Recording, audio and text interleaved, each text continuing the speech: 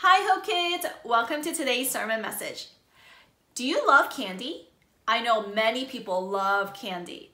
They come in different colors and sizes, but the thing that most people love about them is the way they taste. Did you know that your tongue has something called taste buds that help you taste the deliciousness of the candy? If you look in the mirror, you could see on your tongue, there are tiny little bumps called taste buds and with your nose, they work together so that you can enjoy the deliciousness.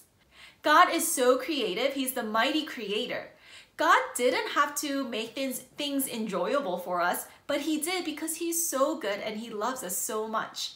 In Psalm 107, verse 1, it says, Give thanks to the Lord, for he is good. His love endures forever. So, I actually have a bag of candy right here. So I think I might have a piece. Wait a minute. There's nothing but trash in here. What? Trash? I thought this was supposed to be a good bag of candy. That, that's, that's disappointing. Well, this kind of reminds me of how sometimes people can be. You know, you might think that people look good on the outside or they act nice on the inside, outside, but you never know what is in their heart on the inside. But you know, God is different. God also sees what is in our hearts. He doesn't only see what we what people see on the outside.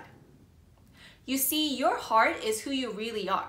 So even when you look fantastic on the outside, if you are having mean thoughts or you've hurt someone um, and you're thinking about the, those things on the inside, that's called sin. And remember, sin separates us from God because God is holy and he is good.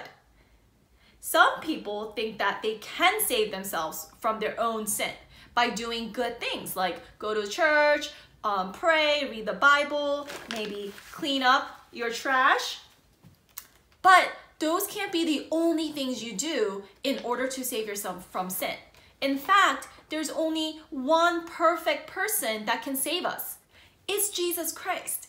You see, God says that we can't save us from our own sin on our own strength. We need Jesus. He had always been alive in heaven, but when he came to earth, he came as a human. And when he died on the cross for us, he took our sins, just like God.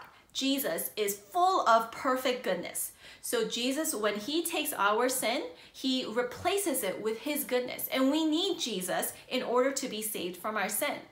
So now I have a second bag of candy and this one is a good one. It has candy inside.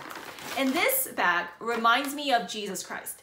Not only does he look good on the outside, but he, Jesus is also good on the inside. Jesus is perfectly good.